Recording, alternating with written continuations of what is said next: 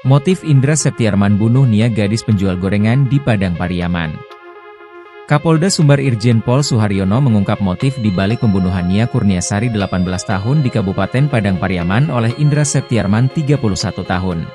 Pelaku berhasil ditangkap saat bersembunyi di loteng rumah warga usai 11 hari buron di kayu tanam Padang Pariaman, Sumatera Barat, Kamis, 19 September 2024.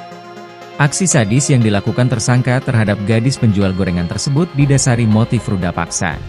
Hal itu disampaikan Kapolda Sumbar Irjen Pol Suharyono saat pers rilis di Mapolres Padang Pariaman, Jumat, 20 September 2024. Motif pelaku sejak awal untuk meruda paksa korban dengan cara kekerasan, ujar Irjen Pol Suharyono. Kemudian korban tak sadarkan diri hingga meninggal dunia. Pelaku pun mengubur jasad korban dan langsung melarikan diri. Pihak kepolisian menduga kuat bahwa Nia sudah tidak bernyawa saat dikuburkan oleh tersangka. Dari tim forensik disampaikan bahwa tidak ada bukti tenggorokan kotor atau udara masuk di paru-paru korban, kata Suharyono. Hal ini didukung dengan adanya penyekapan pada korban selama 6 menit sehingga diduga membuat korban tidak bisa bernafas. Hanya saja, tersangka tak tahu apakah korban sudah tidak bernyawa saat dikuburkan tapi tersangka memastikan korban sudah tak sadarkan diri saat penyekapan. Sebelumnya, Kapolres Padang Pariaman AKBP Ahmad Faisal Amir membenarkan pengakuan tersangka membunuh gadis penjual gorengan setelah melakukan pemeriksaan.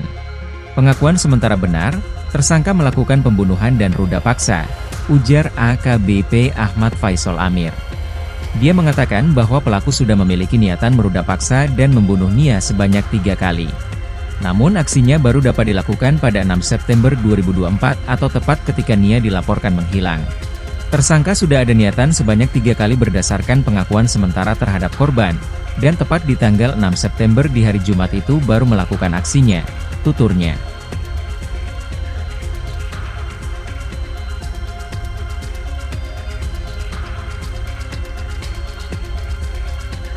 Download Tribun X sekarang, menghadirkan lokal menjadi Indonesia.